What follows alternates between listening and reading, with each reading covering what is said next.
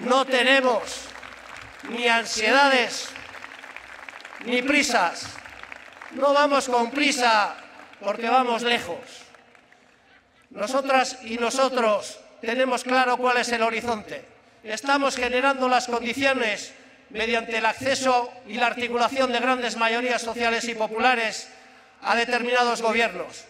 Y os digo una cosa, y con esto voy concluyendo. Yo personalmente estoy persuadido de que la independencia de este país va a atravesar fases diferentes en cada coyuntura histórica.